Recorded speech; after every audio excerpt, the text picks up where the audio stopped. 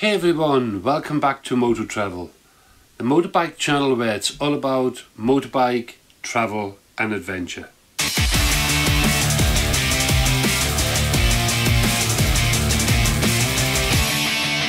Today I want to talk about these motorbike intercom systems. There are a lot of complaints on the internet that the volume of these units is not loud enough.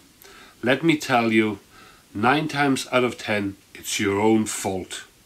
Don't worry, you didn't do anything wrong. It's all about your head and especially your ears.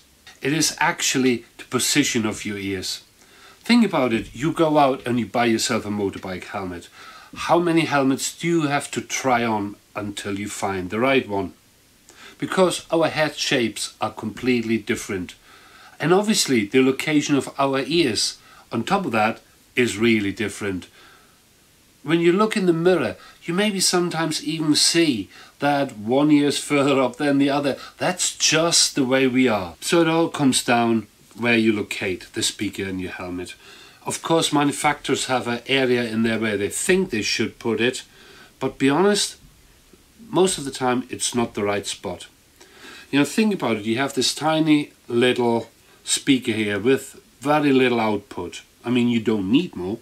And if that is located just, say, half an inch away from the center of your ear, there's nothing left. So what you have to do is, you have to bite the bullet, take a little bit of Velcro and move the speaker around. Another thing you have to take into consideration, how far the speaker is actually away from your ear. So in my case, I had to completely disband the area inside the helmet where I supposed to mount it and I had to put it on top of all the padding in a nice spot and now the speaker is very close to my ear and I have maximum volume. It's all nice and good buying that unit and letting someone in a shop fit it for you but they don't know where your ears are located and they will definitely not take the time to make sure that the speaker is in the best position for yourself.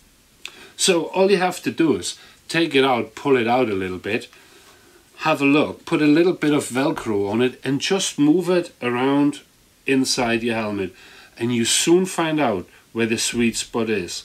And that is it. So all you have to do is for yourself sort it out and do not blame the manufacturer because it's your fault. Actually, no, it's your head's fault. Now let's sum it all up. Don't blame the manufacturer of your helmet just because your ears are in the wrong place. Take it apart, relocate it, make sure it's close enough to your ear and really over your eardrum and you will be just fine. Maybe it needs a little bit of adaptation to it. Maybe you need a little bit of extra velcro or a little bit of padding. But in the end, you will have the perfect solution for your intercom system. So everyone, that's me for today. I hope this demystifies this whole issue about my intercom system is not loud enough. If you like the video, please subscribe to my channel and hit the bell icon so you don't miss anything. If you are out on the road, ride safe. Until next time, bye.